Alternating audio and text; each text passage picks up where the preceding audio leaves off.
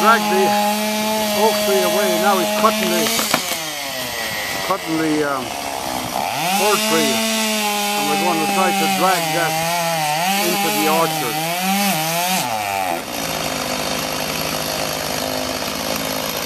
And that's the, to pinched the saw. I'll have to get the jack.